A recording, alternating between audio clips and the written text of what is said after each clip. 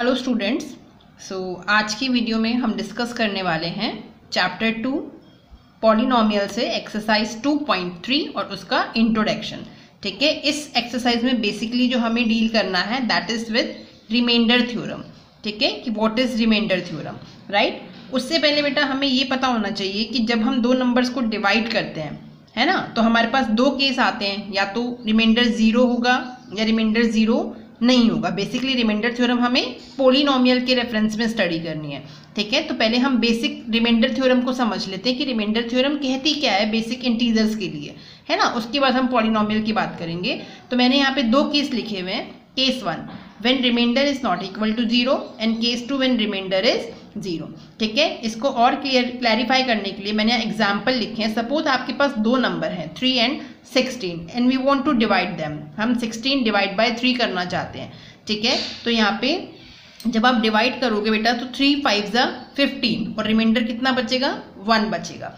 है ना? तो यहाँ पे ये थ्री क्या कहलाता है, जिससे आप डिवाइड कर रहे हो? दिस इज़ कॉल्ड डिवाइजर जो नंबर है सिक्सटीन यहाँ पे नंबर है ना सिक्सटीन इस सिक्सटीन को क्या कहते हैं? डिविडेंट ठीक है? जो आपका रिज़ल्ट आता है, उसे हम क्या कहते हैं? क्यूशियंट और ये तो आपको पता ही है दिस इज़ वॉट रिमाइंडर जो बचता है दैट इज़ रिमाइंडर ठीक है? In that case remainder is getting one it means not equal to zero right now आप चेक कर सकते हो बेटा sixteen sixteen can be written as three into five plus one sixteen can be written as three into five plus one you can check five three जा fifteen plus one करोगे तो sixteen आ जाएगा. It means can I से sixteen क्या था? Dividend dividend is equal to divisor three क्या था बेटा अपना? Divisor divisor into quotient plus remainder ठीक है? तो यही आपकी रिमाइंडर थ्योरम है basic remainder theorem dividend means जिस नंबर में हम क्या कर रहे हैं? जिस नंबर को डिवाइड कर रहे हैं. Dividend is equal to divisor जिस नंबर से डिवाइड कर रहे हैं. इनटू क्यूशियंट जो आपका रिज़ल्ट आ रहा है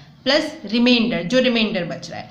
ठीक है? तो this is what your remainder theorem है ना? ये बेसिक इंट्रोडक्शन है बेटा। आई होप आपको पता भी होगा। नहीं पता है इसलिए हम डिस्कस भी कर रहे हैं। उसके बाद हम पोलिनोमियल के साथ डील करेंगे, ठीक है? उसके लिए कैसे अप्लाई होती है? नाउ केस टू भी देख लेते हैं जल्दी से। जब रिमाइंडर ज़ीरो है, यहाँ मैंने एग्ज़ाम्पल लिया सिक्स एंड ट्वेल्व का। सिक्स एंड ट्वेल्व दो नंबर हैं। अगर हम ट्वेल्व डिवाइड बाई सिक्स करेंगे तो आप देख सकते हैं बेटा सिक्स टू या ट्वेल्व रिमाइंडर इज़ ज़ीरो मतलब यहाँ पे रिमाइंडर क्या आ रहा है? ज़ीरो आ रहा है। तो इन दैट केस ये थ्योरम किससे इस थ्योरम में क्या चेंज होगा बेटा? सिर्फ़ ये जो रिमाइंडर वाली टर्म है प्लस में प्लस रिमाइंडर ये क्या हो जाएगा? प्लस ज़ीरो और किसी भी नंबर में प्लस ज़ीरो करोगे तो वही नंबर आएगा. इट मीन जो आपकी अब थ्योरम बन जाएगी that will be dividend is equal to divisor into quotient dividend is equal to divisor into quotient और you can cross check as well 12 can be written as six into two plus zero तो that will be six into two only है ना? अब यहाँ से यहाँ से हमारे पास क्या कंक्लूजन आते हैं बेटा? जब रिमाइंडर ज़ीरो होता है कि ट्वेल्व जो है ट्वेल्व जो है, वो सिक्स का भी मल्टीपल है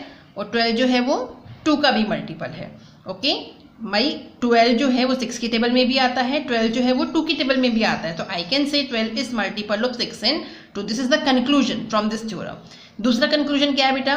कि सिक्स ट्वेल्व का क्या होगा? एक फैक्टर होगा और टू भी ट्वेल्व का क्या होगा? एक फैक्टर होगा। तो finally I can say six and two are the factors of twelve okay तो ये दो कंक्लूजन इंपॉर्टेंट हैं जो हमें पता होनी चाहिए कि किसी भी नंबर को हम उसके फैक्टर्स की फॉर्म में रिप्रेजेंट कर सकते हैं, है ना? जैसे मान लो आपके पास कोई नंबर है टेन आप उसके फैक्टर निकालना चाहते हो तो this will be two cross five तो टू क्रॉस फाइव क्या है? फैक्टर्स हैं. और टेन क्या है बेटा? टू का भी मल्टीपल है और टेन फाइव का भी मल्टीपल है in this way right now अब हम बात करते हैं कि पॉलिनोमियल्स के केस में क्या होता है. है ना, कि पॉलिनोमियल्स के केस में जब हम दो पॉलिनोमियल को डिवाइड करते हैं तो हमारे पास क्या आता है? ठीक है? तो लेट मी टेल यू बेटा, जब हम दो पोलिनोमियल्स को डिवाइड करते हैं, है ना? जब भी दो पोलिनोमियल को डिवाइड किया जाता है तो दो पॉसिबिलिटी होती है बेटा। या तो आंसर पोलिनोमियल आएगा, या आंसर पोलिनोमियल नहीं आएगा। तो हम यहाँ वन बाय वन दोनों केस को डिस्कस करेंगे कि जब हम दो पोलिनोमियल को डिवाइड करते हैं तो आंसर पोलिनोमियल कब आता है? उसकी कंडीशन क्या है? ठीक है? तो हेयर आई हैव रिटर्न कि polynomial upon polynomial is equal to polynomial कब होगा? जब डिग्री ऑफ़ न्यूमरेटर पॉलिनोमियल मतलब ये जो ऊपर न्यूमरेटर वाला पॉलिनोमियल है, इसकी डिग्री मतलब इसमें एक्स की मैक्सिमम पावर कितनी हो जाएगी? ग्रेटर देन हो जाएगी। किससे? डिग्री ऑफ़ डिनोमिनेटर पॉलिनोमियल से। है ना? कहने का मतलब समझ रहे बेटा और तो मैं इसको समझाऊँगी आगे। एक बार के लिए मैं आपको यहाँ समझा देती हूँ। जैसे मैंने लिखा three x square plus two upon में लिखा मैंने एक्स है ना? तो यहाँ पे आप देखो जो न्यूमरेटर है, उसमें x की मैक्सिमम पावर कितनी है? टू है। मतलब इसकी डिग्री कितनी है? टू है। यहाँ न्यूमरेटर में डिग्री कितनी है? टू है। है ना? और डिनोमिनेटर में मैक्सिमम पावर वन है। तो आप देख सकते हो बेटा degree of numerator is greater than the degree of denominator तो in that case in that case हमारा जो आंसर आएगा, अगर हम इन दोनों को डिवाइड करेंगे, ये हम बाद में देखेंगे कि हाउ टू डिवाइड पॉलिनोमियल्स अभी आप इतना समझिए कि जब दो पॉलिनोमियल्स को डिवाइड करते हैं तो आंसर भी पॉलिनोमियल आता है जब न्यूमरेटर पॉलिनोमियल की डिग्री डिनोमिनेटर पॉलिनोमियल की डिग्री से ग्रेटर होती है, बड़ी होती है है ना? इसके लिए एक और केस है जो इंपॉर्टेंटली हमें ध्यान में रखना है। ये तभी पॉसिबल होता है बेटा, जब both numerator and denominator polynomials are monomials are monomials ठीक है? जैसे मैंने ये एग्ज़ाम्पल लिखा है। इसमें जो डिनोमिनेटर है, वो तो मोनोमियल्स है। मोनोमियल्स में जिसमें एक टर्म होती है। बट न्यूमरेटर में कितनी टर्म्स है बेटा? दो टर्म्स है। इसका मतलब मैंने जो एग्ज़ाम्पल लिखा है, वो यहाँ पे रॉन्ग कंसिडर्ड किया है, ठीक है? अभी जब मैंने आपको ये वाली बात नहीं बताई थी कि न्यूमरेटर डिनोमिनेटर मोनोमियल्स होने चाहिए थे, तब तक ये स्टेटमेंट बिल्कुल करेक्ट था, ठीक है? बट इन दैट केस देखना बेटा होगा क्या? अगर हम इसको वेरीफाई करते हैं, क्या हम ऐसे लिख सकते हैं? Three x square upon x plus two upon x ऐसे लिख सकते हैं इसको राइट तो x से x कट जाएगा एक पावर तो ultimately you will get three x plus two upon x है ना? यही होगा। बट जब x को ऊपर लेके जाओगे, x को ऊपर लेके जाओगे तो this will be x power minus one this will be x power minus one अगर इसको हम देखते हैं तो two into x power minus one आ जाएगा। बट माइनस वन तो पॉलिनोमियल होता ही नहीं है। इंट्रोडक्शन वीडियो में हमने सबसे पहले कंडीशन यही पढ़ी थी कि पॉलिनोमियल क्या होता है? कांस्टेंट इनटू वेरिएबल की पावर होल नंबर तो minus one is not a whole number it means कि आंसर हमें पॉलिनोमियल नहीं मिलेगा, क्योंकि पॉलिनोमियल प्लस पॉलिनोमियल पॉलिनोमियल तो होता है, लेकिन पॉलिनोमियल प्लस नोट पॉलिनोमियल क्या होगा? नोट पॉलिनोमियल होगा। ओके इसलिए हम कह रहे हैं कि न्यूमरेटर और डिनोमिनेटर दोनों ही क्या होने चाहिए? मोनोमियल्स होने चाहिए। उन दोनों में सिंगल टर्म होनी चाहिए। ठीक है? हम फिर से इसको यहाँ एक्सप्लेन करते हैं। सपोज़ आपके पास दो पॉलिनोमियल हैं P naught one and P naught two और आप इन दोनों को डिवाइड करना चाहते हैं, है ना? और आंसर भी क्या मिलना चाहिए? पोलिनोमियल मिलना चाहिए। तो इसके लिए कंडीशन अभी अभी हमने क्या देखी थी केस फ़र्स्ट में? कि degree of numerator polynomial should be greater than the degree of denominator polynomial है ना? इसके लिए कंडीशन क्या होगी? Degree of numerator polynomial that is P naught one should be greater than degree of denominator polynomial denominator polynomial that is P naught two. और second क्या था? They both should be monomials P naught one P naught two both should be monomials monomials means they both should have single terms ठीक है? Monomials का मतलब क्या होता है? सिंगल टर्म वाले पोलिनोमियल है ना? तो चलिए, अब हम इसको एग्ज़ाम्पल से समझते हैं। सपोज़ मैंने यहाँ एग्ज़ाम्पल लिया, है ना? हम जो कह रहे हैं कि ये दोनों केस अगर ट्रू नहीं होंगे तो आंसर पोलिनोमियल नहीं आएगा। तो चलिए इसको वेरीफाई करते हैं। सपोज़ मैंने लिखा three x square plus two upon three right ये अपन एग्ज़ाम्पल लिया।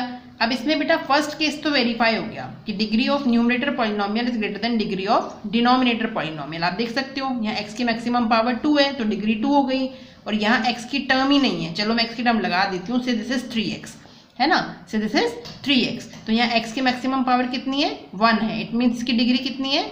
वन है राइट? तो इट मीन्स फ़र्स्ट कंडीशन तो वेरीफाई हो गई but what about the second कि बोथ शुड बी मोनोमियल्स क्या three x square plus two? एक मोनोमियल्स है? नहीं, क्योंकि इसमें दो टर्म्स हैं तो this is not a monomial है ना? तो चलो, अगर हम इसको सॉल्व करवाते हैं, क्या हम इसको ऐसे लिख सकते हैं? Three x square upon three x plus two upon three x. Yes so now three से three cancel x power two upon x power one तो ये एक्स पावर वन ऊपर जाएगा तो टू में से माइनस होकर एक्स पावर वन ही रह जाएगा प्लस में।